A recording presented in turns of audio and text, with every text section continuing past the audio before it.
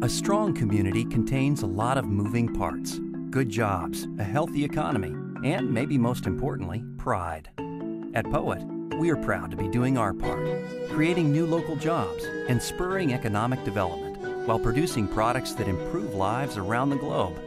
Together, we're not just working to serve our community, but to change the world. And that's something we can all be proud of. See the world differently with Poet.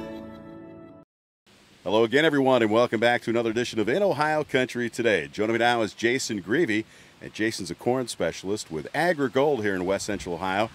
Jason, let's talk about the uh, agronomy aspect of uh, AgriGold and its product and, and how you go about determining what product to use when and where. Yeah, sure, Dan. So, AgriGold isn't a company that's just devoted to selling you a product. We're a very agronomy driven company that, you know, once again, I've got the title of a corn specialist. And uh, myself and my counterparts are Ohio kind of pride ourselves in that title of really knowing the ins and outs of product positioning and hybrid placement on the farm. So, uh, sitting down with individuals, we like to go through and and dive into, you know, on a one-on-one basis into a guy's fertility plans, soil types, organic matter, cation exchange capacity levels, uh, basically anything that can help position our products better on that grower's operation. Uh, that's kind of our position as far as a corn specialist goes. You know, it's all about technology, and of course, uh, AgriGold celebrating 80 years in the business, so they've been able to apply that technology and able to grow with the farmer and also give them the biggest bang for the buck. It's always looking at trying to improve yields, but also improving quality at the same time. Sure. Yep. No doubt about it. So once again, uh, AgriGold celebrating their 80 year anniversary. Um, company was founded by Clarence Akin back in 1936 as the original Akin Seed Company. Um, in 1979, the actual AgriGold name was transformed and, and taken to place. Um, so there's been a lot of transition throughout the company um, but been a very stable brand, um, you know, through those 80 years, and and look for continued growth throughout the future um, as we go forward here. So. Now, when we talk about the, the varieties and, and what you try to do to customize plans for the farmer out there, let's talk about the drought that uh, most of us experience here in uh, Ohio, especially West Central Ohio, and what effect it had on your varieties. Yeah, sure. So West Central Ohio as a whole was probably one of the hardest hit areas in Ohio as far as drought goes. Obviously, the number one factor was lack of moisture. When you run into, um, you know, less than an inch of rainfall through the entire month of July, halfway through August, as we're starting to go through pollination and grain fill, that's never really a good thing when determining yield. The other factor that really played a big role that a lot of people didn't think about was just the, the amount of heat that we had um, not only daytime temperatures but both nighttime temperatures as well, not letting that plant be able to respire um, through the night. So, um, although I've got to say, Dan, um, for the lack of rain and the heat that we had, pollination was really pretty tremendous this year, given the circumstances that we had.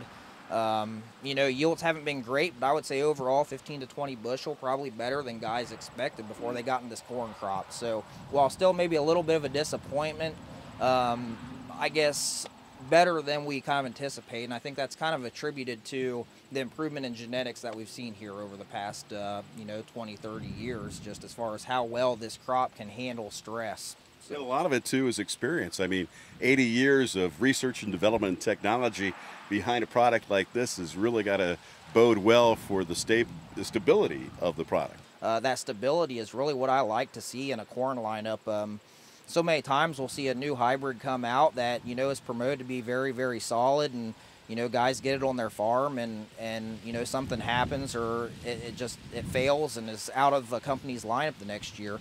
With AgriGold that's the one thing that we really see is that stability that we bring to the farm. What are you looking forward to in the upcoming years? Yeah so going forward here um, like I alluded to, a lot of consistency in our product lineup, but we are bringing some new products to the line just to uh, test the waters into to see if we can find continued improvements genetically um, to our current lineup. Uh, from a trait plant platform standpoint, um, introducing a couple new DroughtGard products into the product lineup. You know, to go along with that technology as well, you know, we've got a lot of growers out there that are still planting conventional hybrids, and AgriGold's got one of the larger uh, conventional product lineups in the industry today. So, Jason, we're out in the cornfield here in beautiful Shelby County, and uh, this particular brand of AgriGold uh, seed is one of your favorites. Let's talk about this particular variety and, and why it's your favorite, and the quality and what you're getting out of it here in Shelby County. Yeah, sure. So 6559, probably one of my token go-to hybrids as far as the AgriGold platform. Um, what I like is kind of what I alluded to earlier. brings a lot of stability to the table. When I look at this product, the last uh, two or three years, it's just been a very stable, consistent product across all soil types. You know, Jason, before we let you go, I really want to talk about that relationship with the farmer.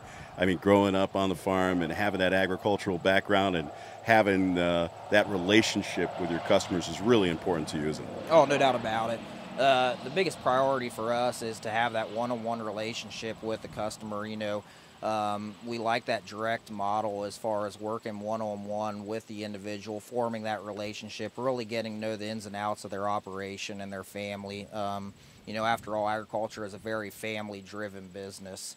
Um, and that's kind of what we strive to, to accomplish at AgriGold too is, is, you know, having that AgriGold family be part of that operations family as well. And the AgriGold family is all about the AgriGold brand, and that logo is so recognizable.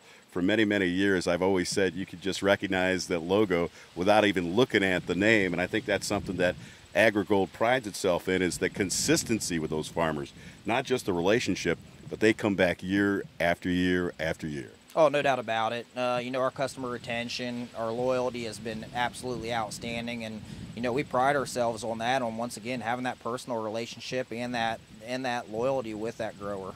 Yeah, when you're in the business for 80 years, again, based on that research and development, great relationships with a farmer, you're going to have that kind of quality company that you can get behind and know that it's going to work for you on your farm. You know, your website is fantastic. There's a lot of good information. So let's talk about where our farmers can go to, to your website and get more information about this great company and this great product.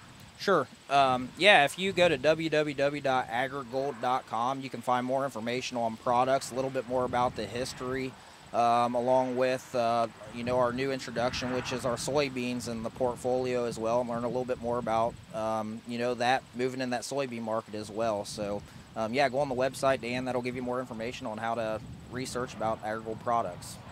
Jason Greve has been our guest. Jason, thanks for joining us. Hey, thank you. Hello once again, everyone. From the Farm Science Review, this is another Farming Fast Fact.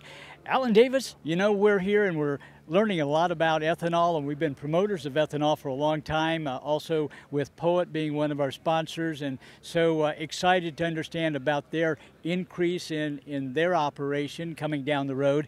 Uh, this is a great time to be involved with ethanol. That's right. You know, it's a very exciting time to be involved uh, in, in corn and ethanol production you know, Poet doubling the size of their plant. Um, and, and uh, you know, of course, we have seven ethanol plants right here in Ohio. And if you look at the map, they're convenient, you know, they're right within corn country.